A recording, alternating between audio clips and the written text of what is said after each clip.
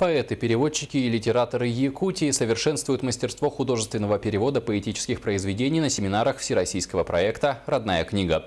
Якутия стала второй площадкой проведения подобных встреч, поскольку является одним из многонациональных регионов России.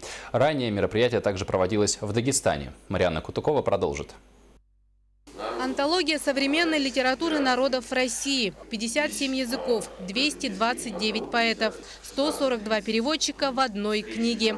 Именно этот уникальный проект стал главной причиной сегодняшней встречи московских переводчиков, литераторов, якутских писателей и культурных деятелей. Как признались гости, за время создания антологии, которая была издана в апреле этого года, к авторам накопилось множество теоретических и методических вопросов, требующих совместного решения решения и обсуждения. Будет такая лекция Виктора Кулы о проблеме подготовки подстрочного перевода. Вот, это очень интересная тема, потому что без этого а, практически ничего не бывает. Переводчики не могут знать, там, вот у нас в России 57 языков а, действующих, да, рабочих, на которых литература пишется. Переводчики не могут знать 57 языков. Им необходим а, подстрочник. И от качества его подготовки зависит очень многое, что а, получится в результате. Издание подобного рода антологии предпринято в новой истории России впервые. Она не имеет аналогов ни в отечественном, ни в мировом книгоиздании.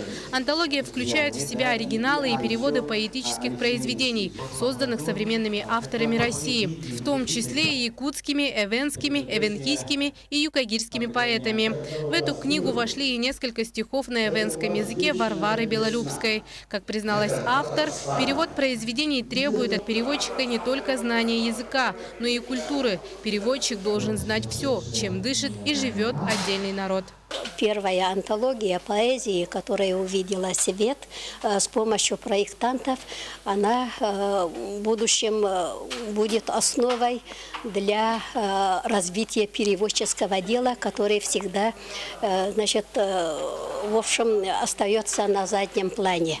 Все волнующие вопросы участники проекта обсудят в эти дни на практических семинарах, лекциях и творческих встречах. Расширение творческих связей, преодоление культурных барьеров и взаимное обогащение национальных культур станут колоссальным двигателем в совместной работе. Марьяна Кутукова, Евгений Тайтонов, НВК «Саха», Якутск.